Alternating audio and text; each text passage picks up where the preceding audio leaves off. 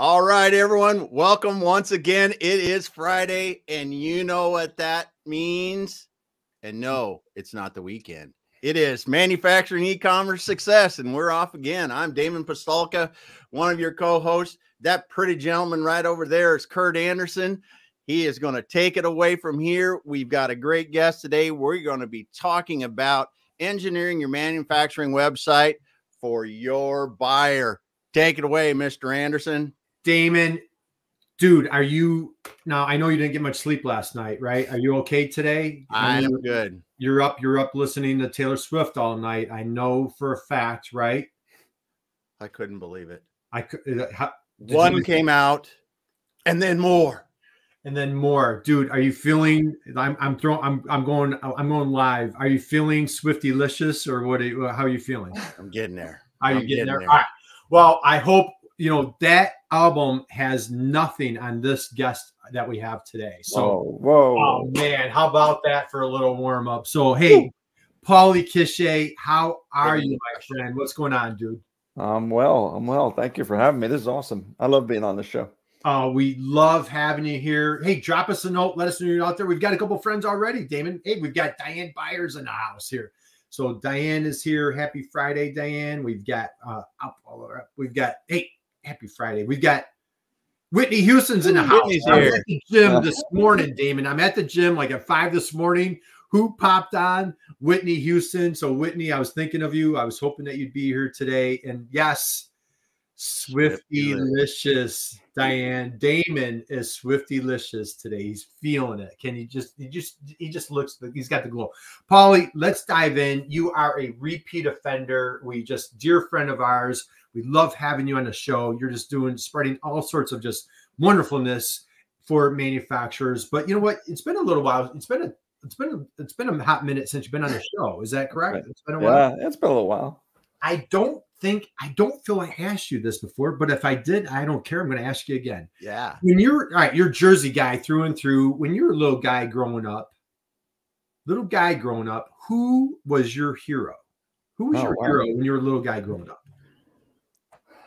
I don't know. Uh, good question. Um, I wasn't one for your traditional heroes. Um, you know, I had I had an older brother that I probably looked up to a lot, and I had uh, a great dad that I looked up to a lot. So I, I think I'm more of that realistic uh, notion. Yeah. You know, family first, probably. That's oh, and I have an uncle that was just like this incredible story. My I have an uncle that um, that ended up creating a bird farm out in Washington. Uh, he he was an engineer for Boeing and created the the most like the most world renowned bird farm out in Washington. Became like world known for it and stuff like that. So he was he was quite a hero himself there too. A bird farm is that what you're saying? Yeah. So he, yeah, it's a crazy story. He would fly from country to country all around the world because he was working with Boeing as an engineer, yeah. training other countries how to use the Boeing planes and he would pick up birds all over the world. So he had birds from like Antarctica, all over the world, and he would um, have them in Washington, and the state would donate land to him and have Boy Scouts and everybody would like take care of his property because he was such a such a such a big phenomenon out there. Yeah, just a, wow. an incredible story. Yeah, I want to write a book about him someday. Yeah. Oh, that's awesome! What a great story, man. We I so where I live, there's like a big bird, you know, sanctuary thing. So uh, we'll, we'll, talk about that offline. But what's your, yeah. uncle's, what's your uncle's name? Uh, well, he, he's passed already, but his name I was named uh, not necessarily after him, but we we share the same name, so it was Paul as well. So awesome! Right. What a great story! Yeah. What a life that guy led, flying all over the world. It's, it's it goes way beyond that. Birds and then started a bird farm. How yeah. cool is Super that? Cool. Mm-hmm. And is is that place is it still in existence?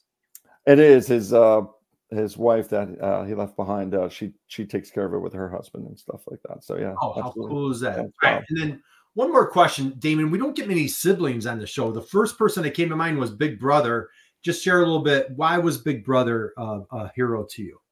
Uh, I think it's just one of those classic things, you know. Like uh, he he first off, he's ten years older than me. I have a sister that's eleven years older too. She was definitely a hero to me as well. Yeah. And I have another sister that's seven years older. So I came from a big family. But like when they're that much older, they they're practically like your uncle almost or something like that. So they yeah, you look up to them a lot, you know. Um, but just you know, they they led some really exciting lives. Um, my brother, for example, he's a uh, actor, writer, producer, director. He's been in stuff all all over the place. He was in Breaking Bad and a lot of other big wow. stuff. So yeah, just uh, he lives an exciting life as well. Yeah. Wow. Well, those, those, handsome genes run in the in the cliche yep. family, man. Just so you know, it's hard being on stage with you, Paul. Damon, we've got a number of friends oh, here. Oh, we do. Let's let's get let's get some Whitney. Wouldn't it? Well, you never know, do you, Whitney? can't judge a book by its cover. Damon is indeed a Swifty. He Dan a, out there in a car somewhere. The technology is incredible. Out in West Virginia. All right. Yeah, we got Gary in the house today. Hey, Gary, what's happening today? Gary Manchester, happy Friday to oh you. Got Harry Flaris in the crowd today. There we go. Harry. Ooh, look, this is a big deal. Dan's daughter is driving. Wow, Dan. wow boy, good luck, Dad. And hey, yeah. I want to give a thank you to Harry. Dropped a great comment on LinkedIn this morning. Yeah, what a great story that was. We got to get Harry on the show. So, yeah, thank do. you guys. Thank you everybody for joining us today. Keep the comments coming. We've got Paul Kiesche here today. We are going to do a deep dive into how to really maximize your website, and we have the authority here in the house to dive into this. So, Paul, been on the show before. We did a fun jam session last year, and yeah boy, people were blown away. We are doing some before and afters where when you were on the show last uh, last time, we were doing some before and afters. But before we get there, give a little background into yourself. So why, you know, you're a creative guy, you're a professor, you're an artist. Why manufacturing? How did you evolve your firm to really target and help manufacturers? That's a good question. I so I've had my business for over 18 years and nice I've been working in the industry since 1998 or so.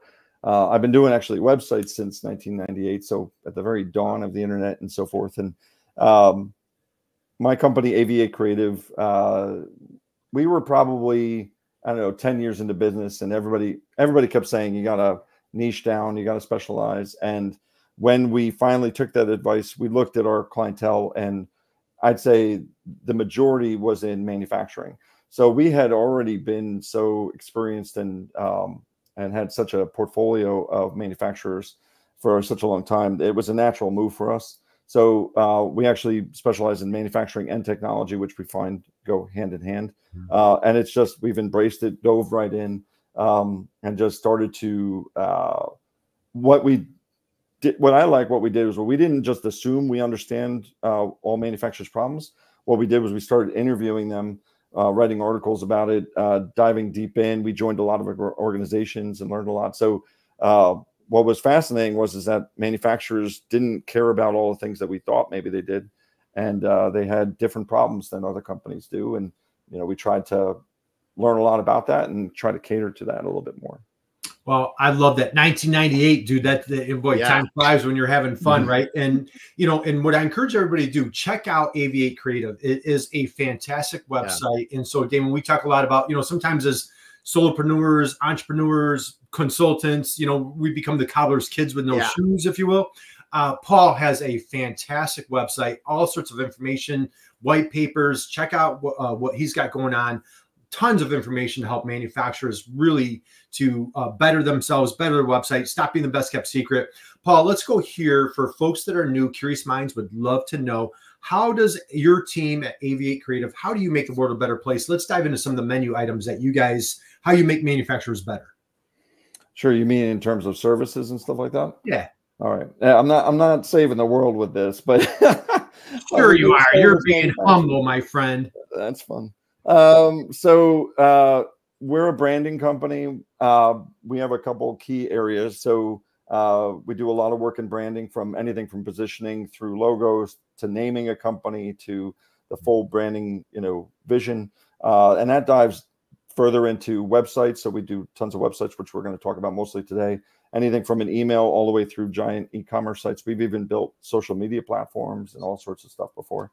Um, and then uh, we do a lot of print so a lot of a lot of agencies have like run away from print but we still embrace it so we do a lot of catalogs a lot of direct mail and promotions and all sorts of flyers and case studies and all sorts of stuff there uh, we're writers we're designers so we do a whole breadth of work all the way through help with trade shows and vehicle wraps uh, a, a wide variety of anything design anything writing that kind of stuff Well, I love that. And a few things to take away here. And uh, I'd like to back up one minute. Your entrepreneurial journey.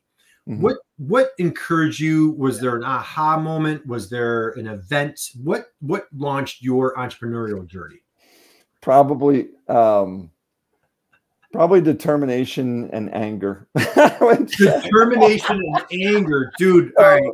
So, Curious you know, if, I'm, if I'm fully honest, right? Like, uh, I was very, um, I have a interesting story and stuff, and I was very, very ambitious. So, um, like, just to give you an understanding of that, uh, I got my first job when I was a freshman in college. By the time I was a junior in college, I was already a um, a senior designer, and I was already published thirty times as an illustrator. Wow. By the time I was gra- by the time I graduated college, I was already a creative director running an art department for a PR firm in New York, and I was already uh, massively published in publications. Nice. And then I started running um, other divisions and stuff. So I ended up uh, after 9/11, uh, I ended up having to leave New York and back in New Jersey. I worked for an agency for a couple years, and they had a uh, creative director um, that was fine, uh, but that they ended up letting go of that creative director. And I said to them, if you hire, you know, I asked basically, I said, uh, you know, I like the job, and they said you're too young, you don't know what you're doing yet, and I was like, okay. Um, and I said, well, if you hire somebody, I want to either learn from them, or they should be better than me, or I want to learn from them. And uh, they hired them; they were terrible, and uh, they fired them. So I said again to them, like, all right, I'm, you know, hoping to get the job now. Um, and I said, if you hire somebody else that's not right, I'm going to leave. So uh, they hired somebody else that was bad again. Uh, so I made the move and I started my own business. I mean, I it I had already been freelancing for many years. So I was already basically like set as a company. I already had clients, I already had lots of stuff. Yeah. Um, but I, I wanted to uh, work there. So um, it was kind of fun. And then within like a year, that company was already like upset that I was getting more clients than they were and everything else. So it was a pretty interesting start to the whole journey, you know? Well, Yeah. what's fascinating, Damon, you know, we've talked a lot about we love asking that story, like, hey, you know, what's the what, what's the origin Yeah. story? You know, like Yeah. how did you start your entrepreneurial journey? We hear a lot of accidental entrepreneurs, Damon. This might be the first Yeah. of the angry entrepreneur, right? Determination and anger. Yeah. We got the so hey, real. David, bunch of I love it, though. I think that I think some- that there's probably more stories like that that people probably are just Yeah. embarrassed to share. You know, I mean, ultimately, uh, it was probably you know this this drive that I was like, I don't want to have a ceiling over my head Yeah. type of thing. But it was also like, okay, you're going to tell me I can't be, you know, more successful. I'll I'll show you. You know, Yeah. Yeah. Yeah. Well, thanks. Shub stopped in, dropped a comment. Thanks for that. Dan says, well, he was graduating college in 98. Yeah. And then the other thing Dan said, oh, that's funny, graduating college. And then uh, seen a bunch of this on your post. So if anyone wants to learn more about Paul, that's a great thing. Go back and take take a look at it. Look at his website. Great work. Just incredible work. And then Whitney, determination and anger. It's a fire going there, going there. And I want to say thanks to Matthew Hollingsworth for being here today, um, stopping by. Thank you. And Matthew. Dan says something we all know. There's a lot of people leaving corporate America and starting their own companies. It's a it's a different world for us. So Yeah. good stuff. yeah. Thanks, that was a long time ago for me, though. You know, a lot of Yeah, things yeah. Yeah. I, I think about that. And I mean, and uh, Curt's a little different. He left his own company to do this, but I think about when leaving corporate America and, and, you know, it was, it was out of frustration for me, you know, and Right. I feel what you're saying. You just, there's something better. Don't know what it is, but there is something better. So Yeah. that's cool. I think uh, I think if people are honest with themselves, frustration is a big key factor. Yeah. Yeah. Right. Yeah. Was so for being with anger and determination, you know, was there any nervousness? Was it all excitement? Was it just pure determination? Like I had such a big ego back then. I I still have a big ego, but I had I was not nervous at all. I thought I could conquer the world back then. Yeah, you know, I love Nice. Time ago. I've learned a lot of lessons, and I've been humbled a lot since then. But back then, I I had Yeah. a huge ego. Yeah. time keeps us keeps us humble. So again, guys, we're here with Paul. Drop a note in the chat box. Bring your questions. He's a branding guru. We're going to show some before and example, uh, before and after examples with websites. I saw you just put up a great example on LinkedIn. I think maybe yesterday or the past couple days, Paul. Um, let's dive in. Let's let's start going there on some branding things with manufacturers, website, that yeah. type of thing.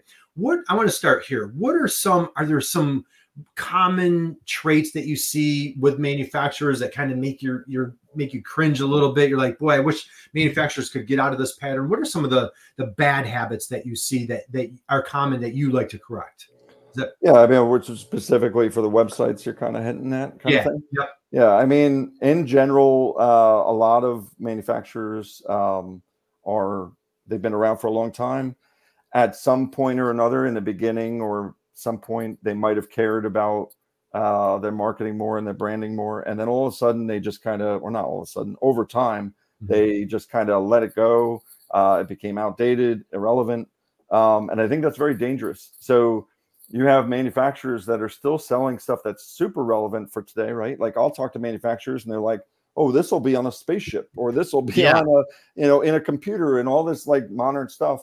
And yet their uh, often their branding and their website is so dated that it looks like it's from the 70s yeah. and i'm like that doesn't add up right? So if mm-hmm. someone's going to your site they're qualifying you they're deciding whether or not they want to work with you. And if if they're going they're going to also look at your competitors.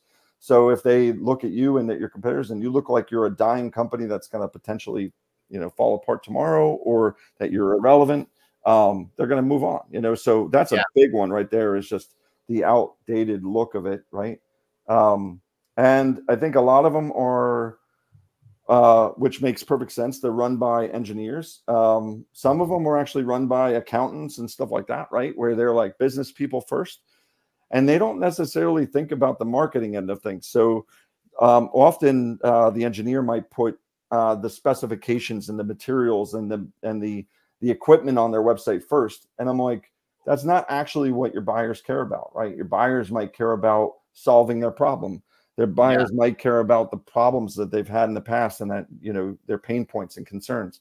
So addressing the right kind of content um, makes a lot of sense. So those are, I guess, two big ones that I would that I would point to right off the bat.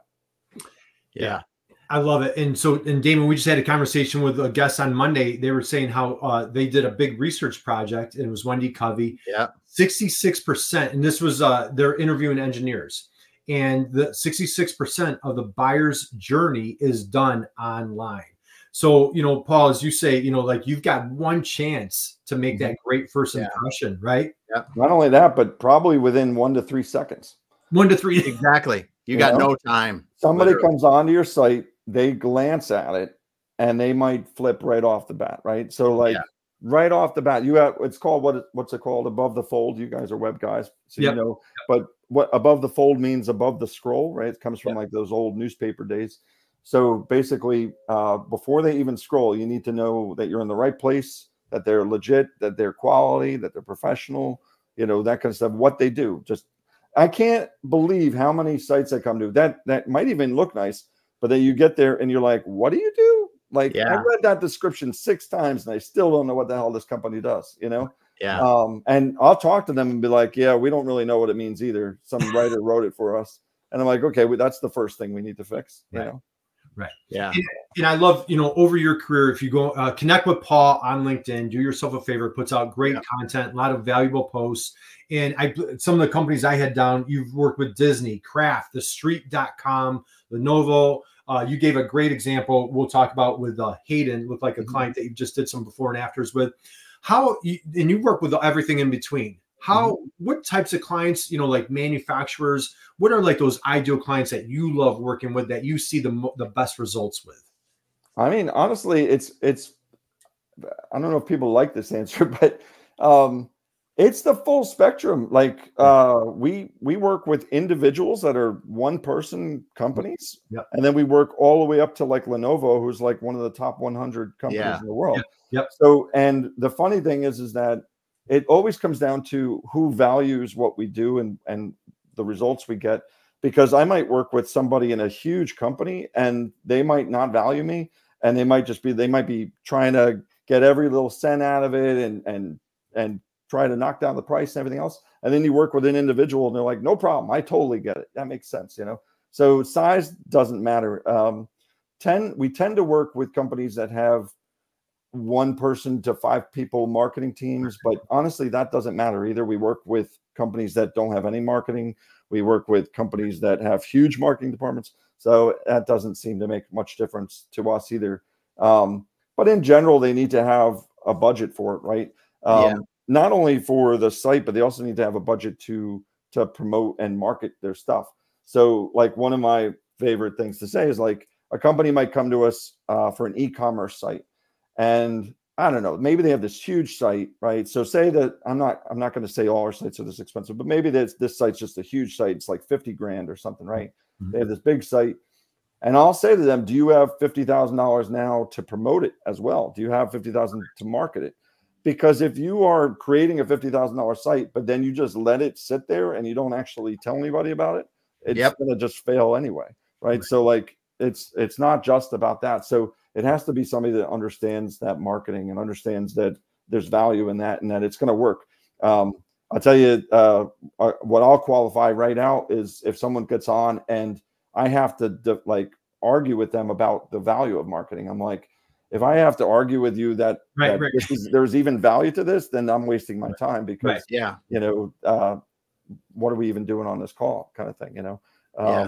So, but it's it's interesting. It's also about what they value. So, what one you remember earlier in the conversation, I said that we learned a lot about what manufacturers actually care about.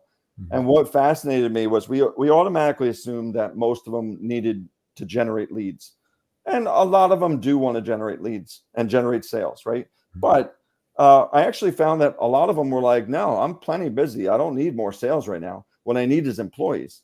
I was like, okay. And I realized over time that that website is just as important for yeah. generating uh, recruitment and uh, attracting employees as it is for getting those sales and leads. 100%. So there's it depends on the goals of that company and what they're trying to do. Some of them all they want to do is appeal to the stockholders, you know, and that's a whole different thing too. So yeah. it all depends on what it is. Um, but ultimately, like I said, you only have a couple seconds for someone to qualify you, and then after that, you want to build that trust and reliability or credibility and and make sure that they understand your you know the details of your products and all that stuff which we can dive into that deeper as well yeah yeah we got some comments here i'm going to hit real quick because dan dan always great comments. So you're saying manufacturing are using cave drawings to market themselves.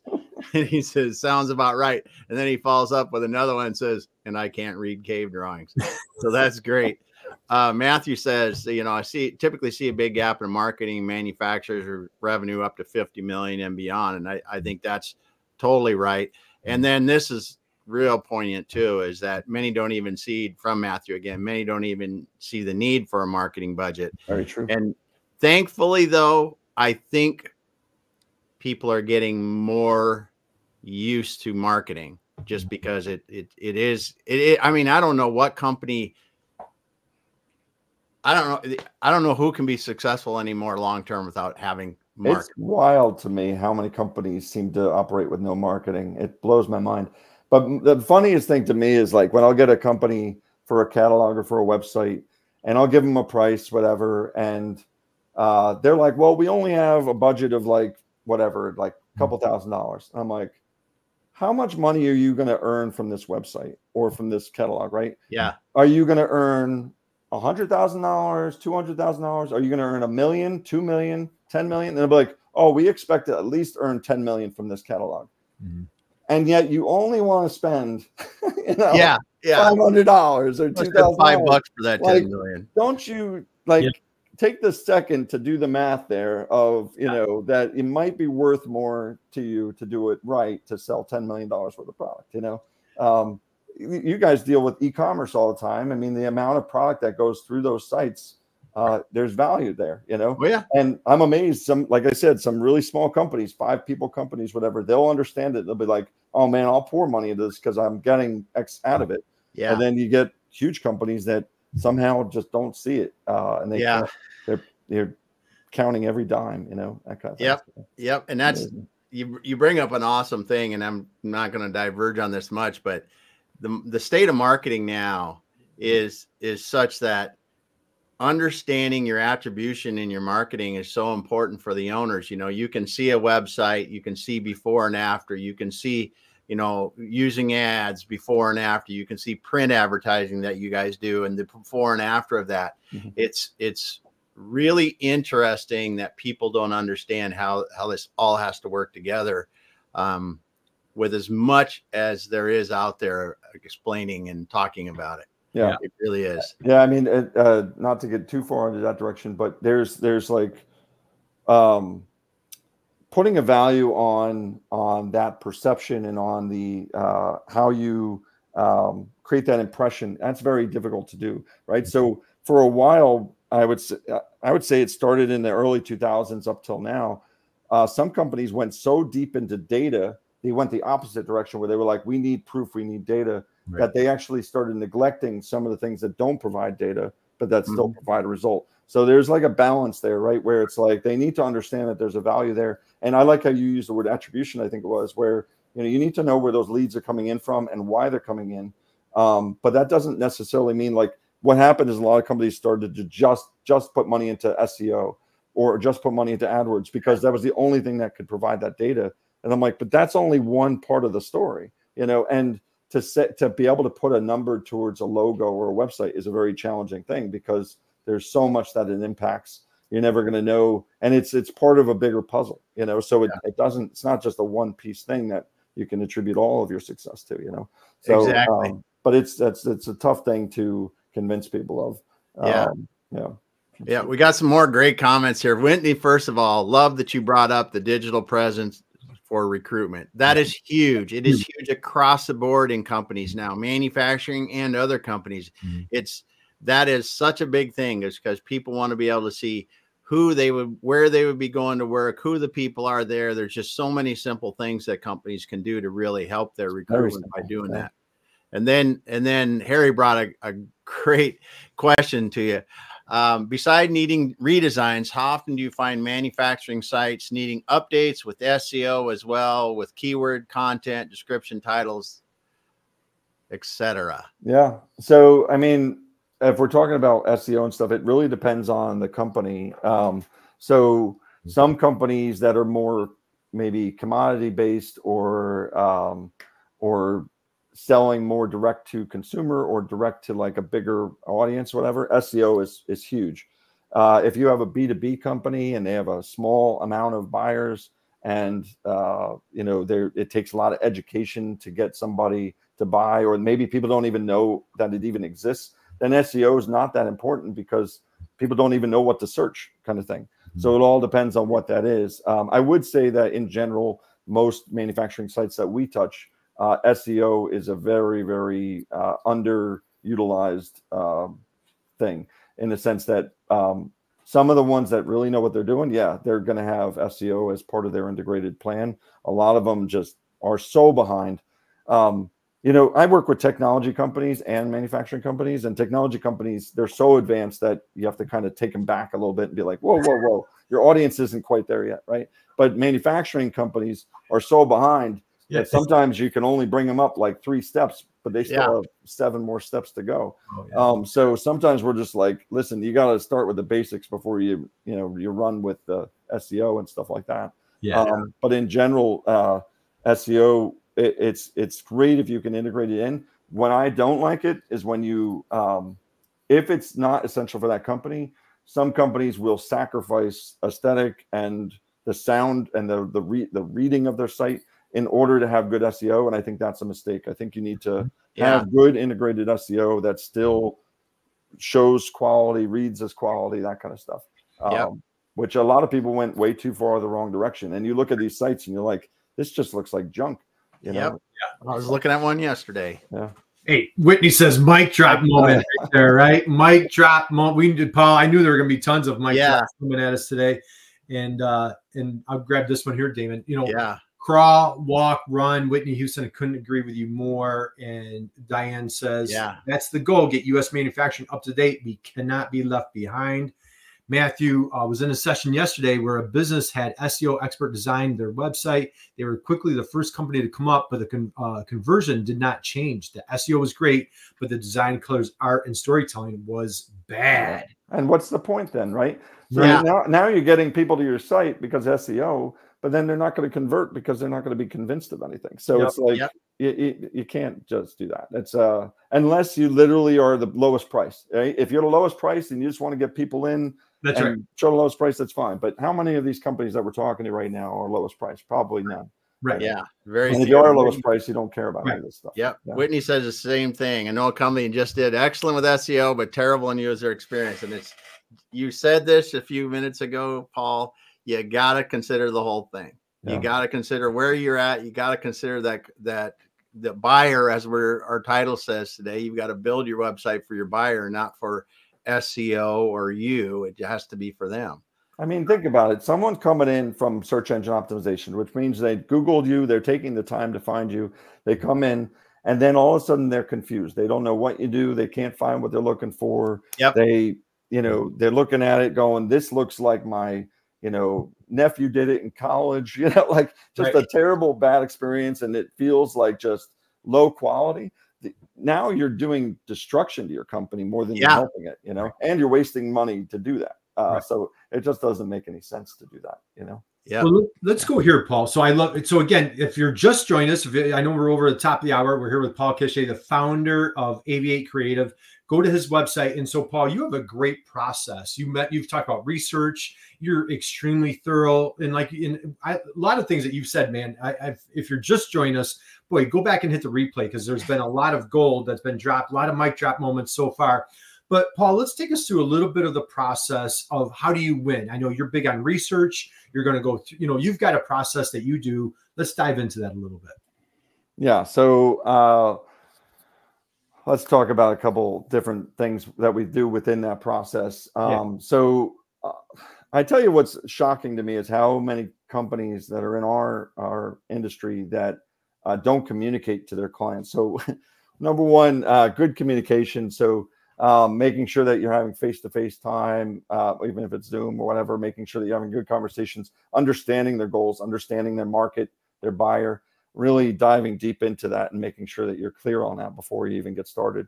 Um, and then here, let me show you. Uh, I'll, I'll pull up a quick uh, little presentation of, uh, of our diagram, so that maybe you'll uh, walk people through it just for one minute.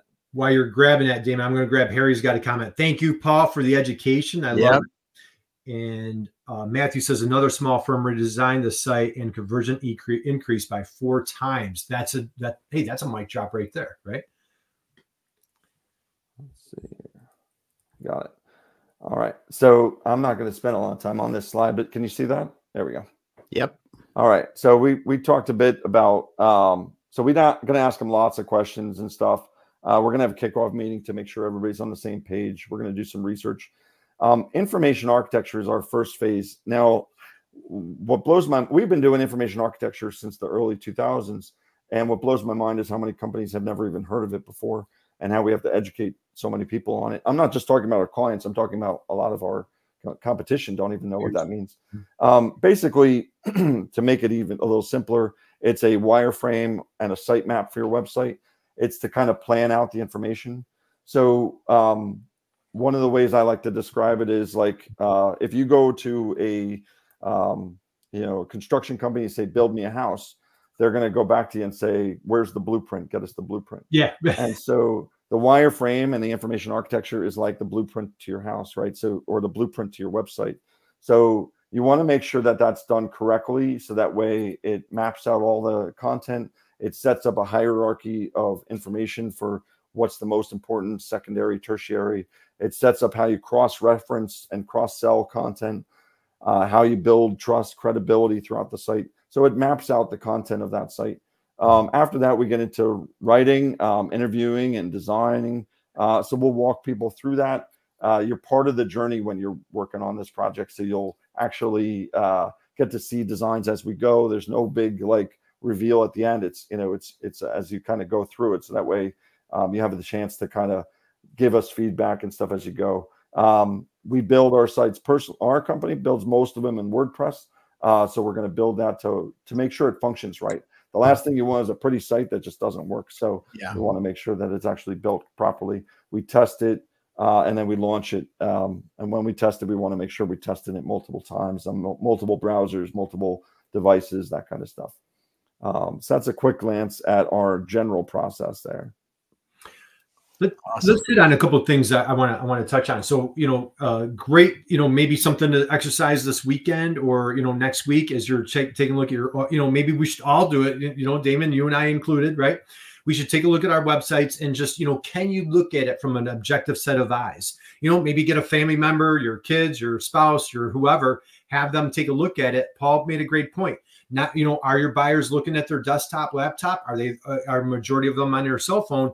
And I would encourage you, don't assume, right? Yeah. They're on their desktop. Man, I can't tell you how many clients they're at 50 50. Sometimes they're at 60%. Well, you can find out real fast, uh, right? So if you have your uh, site set up on analytics, or Yep. if you have your site set up on Google AdWords or anything like that, they do provide how Yep. many people are coming in on mobile or desktop. And I know that for me, I always assume people are on desktop because that's how I work, and that's not the case at all, right? So it depends on the week, but we see typically 50 to 60 percent on on uh, mobile devices of some sort or another. You know, mostly phone, uh, sometimes tablet. So it's definitely tricky, and you do need to make sure you're um, adhering to that because uh, if you're losing 60% of your business be- or uh, audience because of the fact that they're on some kind of mobile device and you haven't even considered that, uh, that's a big mistake. You know, especially at this stage. So, Paul, I'm gonna. I- I'd like to go here. I'm gonna be a little bit of Captain Obvious, and I know we've covered some of this, but I, would like to take a little bit deeper dive. Understanding your buyer, okay, how important it is, and sometimes we get as as uh, you know, for manufacturers or our own business. You know, I've been on calls where Damon, you know, we're notorious. You know, everybody has their their language, their lingo, their acronyms, right? Yep. Hey, well, we're going to do uh, SEO, and you need to do PPC, and you need to do, you know, well, if you're a marketer, you might know those. But if you're a manufacturer, you're like, I don't know what SEO is. I don't know what PPC stands for. You know, so as as owners of our property, we want to make sure that we're speaking their language. Paul, how do you what, take us there? Walk us through a little bit. How do you help your clients to speak the buyer's language, or how do you help them conquer those challenges? Yeah, that's a great question. Um, ultimately, uh, th- they're doing the same thing, right? Is what you're saying. So uh, they might be talking in their in their engineering lingo, and honestly, it's more than that. It's like a lot of people are talking in a language that's only in that company because they're so used to talking about their products, and they're using acronyms that no one's ever heard of before. Yeah. stuff. So understanding how your customer talks about it is important. I tell you, the easiest way to do it is to ask right like and and it's- it, i know this sounds difficult at first but it's really simple right so what i recommend is trying to set up um, discussions with three to five key kinds of clients. And i'm the mistake i think a lot of people do is they'll just ask the clients that love them because that's the easy answer. But the clients that love you don't usually have the challenges and the concerns as much because they're already in love with it. So I would ask them, but I would also ask maybe clients that are, feel like they're on their way out. Uh, like that are kind of unhappy, and find out what they're doing. Right. Uh, sometimes I'll ask prospects too, uh, companies that they're they're interested in working with that they might be talking to, and finding out what they care about. Right. So we'll ask them, you know, what are your pain points? What do you, you know, what do you care about? What don't you care about? What do you want? And they start using different language, and they care about totally different stuff. Right. Um, I've had it's interesting. I've had these conversations for companies because we do positioning and interview these companies sometimes, and they'll say, you know, uh, we were thinking about leaving, but because you called us and because you care about our opinion, now you know we're going to reconsider this and so forth. So it it matters a lot to them what you care about, and what they care about is so different often than what you think, right? Yep. So I've had whatever it is, maybe like a metal manufacturing company, so proud of their product and then I call up the company and they're like, we don't care at all about the product. We care about Brian, the sales guy, because he's the connection to us. And we care about the fact that you delivered on time. We care about the fact that, you know, we don't have a hassle and we have one place to pay this and one place to do whatever it is, right? Like Yeah. all of a sudden you find out like their goals are totally different than what you thought. You thought it was all about the product. No, it had all to do with the customer service or whatever else it is, you know? So um, assuming you know what the buyer cares about is a big mistake. I think getting on a call with them and really understanding what they care about what matters yeah. to them, and so forth. Like I said earlier, like maybe you know attracting uh, employees might be more important to my clients than selling products, whatever. So it all depends on what uh, that client cares about. So uh, that's the straight up easy answer is to ask them. And um, a lot of people are afraid to do that, but um, most people, I wouldn't say most, but if you reach out to whatever 12 companies, you know, maybe uh, six of them will say yes, you know. So I think that it's not as hard as as people think it's going to be. Um, and uh, and you don't even have to make it like official. You could just say, "Hey, I want to chat. Uh, can we, can yeah. we go out for coffee? Can we do whatever?" Um, don't scare them with like some "I'm going to interview you for an hour" type right. of thing. You know, yeah. keep it simple yeah. and easy. So well, uh, I guess that would be the biggest easy answer to that question. You know. Yeah. We got some great questions or great comments here, Diane. The assumption poison to the process. Mm. That's for sure. Um, and this is the other thing is sometimes internally we speak Martian compared to what the industry speaks. Right. Absolutely. Yeah. Without a doubt. Like I'm talking so much so that you could just alienate your entire uh, customer base that way because right. you assume they know certain terminologies and they don't use those words at all. You know, like, uh, completely. You know, I love um, what you're saying, Paul. Real quick, I mean, just to interject super fast. I love what you're saying, and and you know, kind of, you know, when we're saying like, hey, to, to question the customer, not to, you know, hey, let's send out a survey. Nobody fills out a survey. No, no, no, no. It has to be a has to be a personal it's, conversation. yeah, making it a personal conversation, and and really, and asking that buyer, hey, what can we do to make your job better? What can we do to make you more successful? You're accomplishing the same thing with that with a survey type question, but you're you're showing that you have their back you know?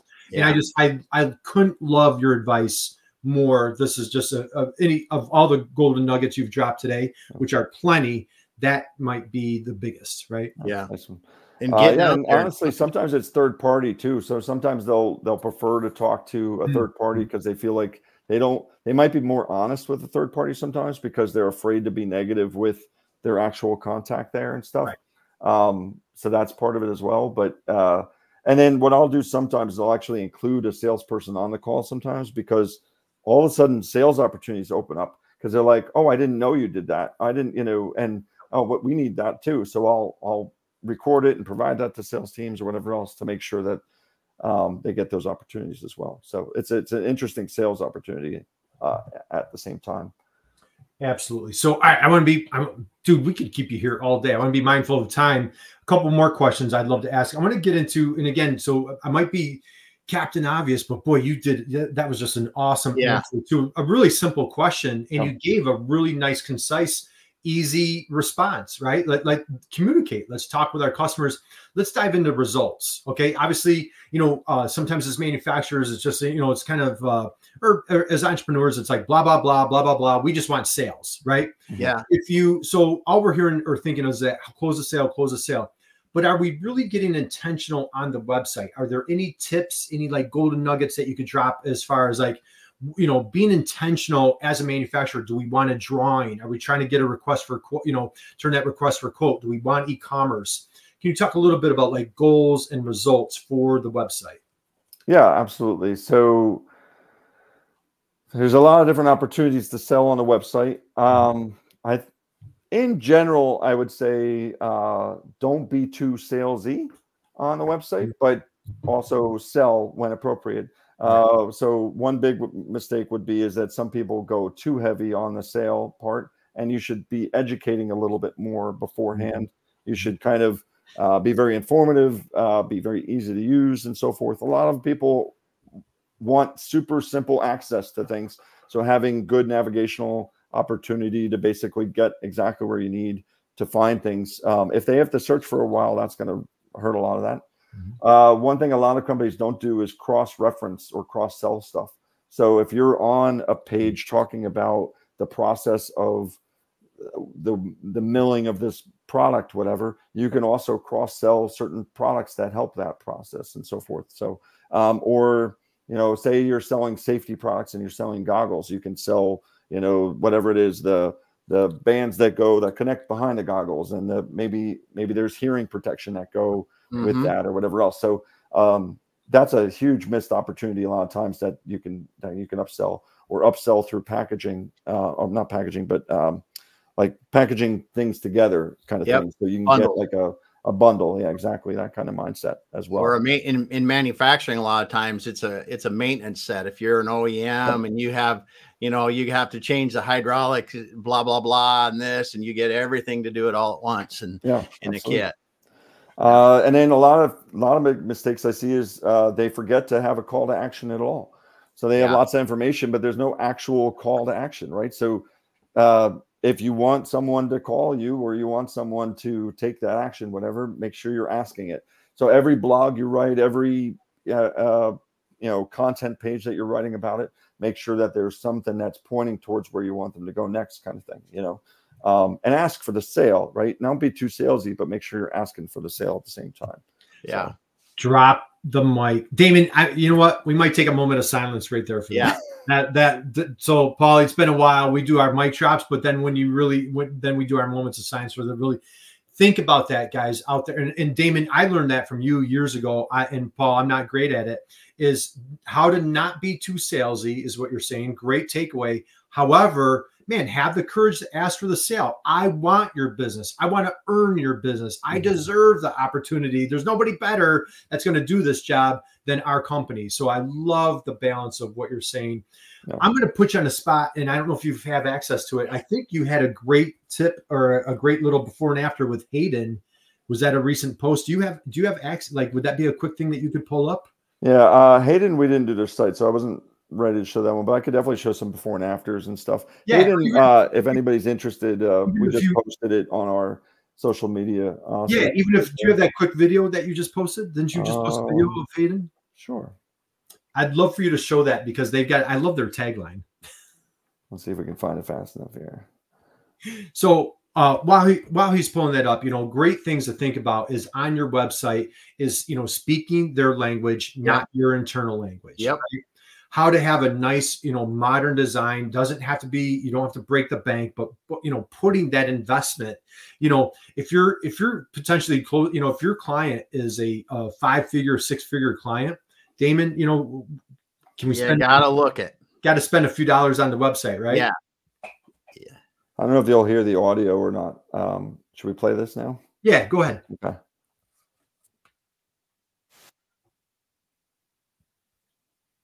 We'll see the before. Yep, there's a before.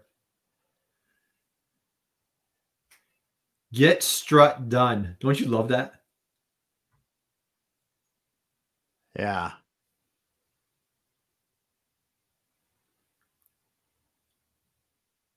The cards, the catalog, the yep. yeah. So um, from a simple one page line yep. card kind of thing. Yeah. So yeah. uh, that was one of my favorite uh, taglines we ever wrote. Um, yeah, get struck done. How now? How how where'd you, how'd you come up with that one? I I mean to give so it was uh, a magical moment in a um, so we were just talking about doing like positioning and interviews and stuff like that. So I'm in a positioning meeting with Hayden, and I'm asking him about you know their business and what what what's their differentiation. And some woman in the back, you know, she was one of the board members or something screams out, "Get shit! We just get shit done," you know. and I'm like, "That's your tagline." I literally heard it and was like, "That's your tagline." And you, and you spit like, it out like that. That's yeah, awesome. And she's like, "What are you talking about?" I'm like, "Get strut done," and everybody's like, "Oh, yeah." It's just like yeah. did, a moment. Did, did you like? Did you drop the pen and like just yeah. walk out of the room, or like how did you? I, was, I should have. I should have pulled like a what was that like? Um, George Costanza where he just like leaves yeah. after he says yeah. something good. Yeah, you should have just you should have just dropped and walk uh, get strut done and you should have just walked yeah. out. Out the room for good. That was awesome. Favorite, yeah. yeah. So, Paul, awesome. last thing I'd like to really you've used this word multiple times in this great conversation today is educate. You know, just being that fierce educator yeah. as a manufacturer. And we talked about assume here if you want to if you're adamant about assuming something let's assume that your customer knows nothing sure. just assume yeah. that your customer knows nothing and just get as much information on the website as humanly possible paulie we'll start winding down any last uh, words of wisdom parting thoughts that you want to share as far as like great takeaways for folks kind of getting their brand on fire getting that juice back up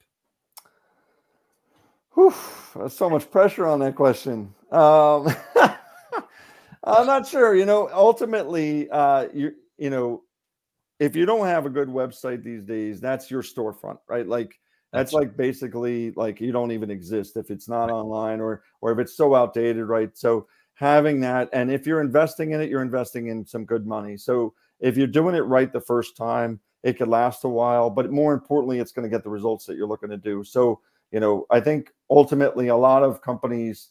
Uh, it's like a painful thing for them to do and stuff like that. But if you're doing it right, it's going to be very effective and it can be a, a fun process. So, you know, I encourage them to to really think about doing it just the right way the first time instead of trying to hack it together. The amount of times that we've had to come in and and redo something that they tried to do three times and failed, um, it's always it's sad. And then they run out of budget because they tried it right. to do it too many times. So, um, you know, try and do it right the first time and uh, and understand that buyer. Don't just don't just get suckered into pretty pictures and don't just get suckered into things like SEO. You know, understand the the bigger picture of it, kind of thing. Well, I absolutely love it. Paul, best place to find you. We've got you here on LinkedIn, aviatecreative.com. Any other thing, any other yeah, social- all social media, we're Aviate Creative, easy to find. Um, and uh, I, they could certainly uh, look me up as well. Um, not too many people with my last name, so um, look me up on internet uh, and you'll find lots of information about us. But aviatecreative.com will get you to everywhere you need to go. Nice. Oh, awesome, Paul. All right. Well, how about this? But uh, Damon, I, I, have one last question. But you know what? Before we, how about everybody? If you've been hanging out with us for man, we're at 50 minute mark. You know, it's a great time. You've been sitting down. You can stand up and stretch. And how about giving Paul a huge round of applause for just dr- multiple mic drops? We had a moment of silence, tons awesome. of gold here go back and hit the replay button. But Damon, before we close out, we got to do, do, it. I do have a question for Paul, and I'm pretty sure we didn't ask it. Paul, I think I have one more, but we've got a couple, a couple, comments here. A couple comments. We got Fei Fei in here right now. Thanks for stopping by. Well done, Paul from Whitney. So much wonderful nuggets in this conversation. We had Harry stopping by. Good strut, Paul. Thank you. And Gary and and, good one, Gary dropped by. So we had Harry and Gary stopping by. Harry uh, Gary says, "Thanks, guys." Hey, thanks everyone. But yeah, on. I got one more question, but you know what? I don't know if I can hang out with Harry. Does that make sense? I don't know. Like I can't hang out with the guy. Well, maybe it's the perfect combination. Well, we could be. We, right, right, I'll, I'll, be curly. So uh, anyway, Paul, I have one last question for you. And so this a friend of mine wanted me to ask you this. Are you ready? Yeah. Are you sitting down for this one? Okay. You're a Jersey guy, New York guy. Are you Yankees or Mets? Yankees. Yankee. All right. Love you, brother. Okay, Yankees. Let's say the Yankees are playing the Red Sox. Just a pure hypothetical. Let's say the Yankees are playing the Red Sox. They're in the Bronx. It's bottom of the ninth. It's tie score. There's somebody on second. Judge Aaron Judge is on second base. Or bottom of the ninth, two outs. Out the big one. Playing the dreaded, hated Boston Red Sox. You you with me? You're good? Yeah, but I gotta warn you, I'm not much of a sports guy. So okay, so right, hang, hang, tight, hang tight. Bottom of the night, two outs, guy on second, tie score. Like we need the winning run. Okay, Aaron Boone, the manager of the Yankees, looks down the bench, says, "Hey, Kiesche, get up there, grab your bat, grab your helmet, hit in the winning run. Okay. You storm out of the dugout, you grab your bat, you throw on the helmet as you're walking to the plate to hit in that winning run. What's your walk up song? Oh, God. oh, he's not prepared for this. What is your walk up song and you're in the Bronx at Yankee Stadium? What is your walk up song to hit Big choice right there. Yeah, I, I, have no idea. Uh, I so I was at the. I would say something from uh, Greta Van Fleet. That's who I've been. Greta doing. Van Fleet. Oh, okay, good choice. Listens to Greta Van Fleet. Yeah. So all right, that's a great answer, Damon. I was at the gym this morning. You know what would be a good one? We're, you and I, we're old enough. Remember the Monkees? We all remember the Monkees, oh, yeah. right? I'm a believer. How about that? They there have Smash Mouth's version of I'm a believer. That would be a good walk up song. That's a good one. Yeah. All right. So, Paul, thank you for joining us today. Damon, a couple more comments coming in. We've got oh yeah, Matthew dropped a comment. Matthew, thanks thank so much, Matthew. Thanks so much, Paul. That was awesome. Diane, thank you. Sending Walk you song to the wind by Diane. Thanks. Sending all you. Hey, thank you everybody for joining us. We appreciate you. We know how busy you are. We just we love. It's an honor for Damon and I. We bring in just all stars of like Paul, yeah. just bringing in tons of value, lots of information. Connect with Paul on LinkedIn. Go to his website. Tons of great information get him on a call, have a conversation on how, he can help you, your brand to win the day. Paul, I want to thank you, my friend. Thank you for Thank your you. friendship, your support, everything you do for the manufacturing community. God bless you guys. Have a great weekend. Damon, close us out, will you please? All right. Well, thanks everyone for being here today. Thanks so much, Paul. Just so much wonderful information. And I, like Curt said, if you did not hear this from the beginning, go back to the beginning, start over, listen to Paul. He's going to give you some good nuggets about getting your website set up and and our discussion today around engineering your manufacturing website for your buyer. So much good stuff in there. Want to thank everyone who dropped the comments in there today. Want to thank everyone who was watching and didn't drop the comments in today. And Curt and I are so happy because we are going to be back again on Monday. We'll be Have back again weekend. Monday. And so, Damon, like we always, uh, we'd love to say, just go out and be someone's inspiration, just like our dear friend Paul. So, thank you guys. Yes. We'll see you here on Monday. Thanks, Yeah. everybody. Thanks, Curt and Damon. See ya.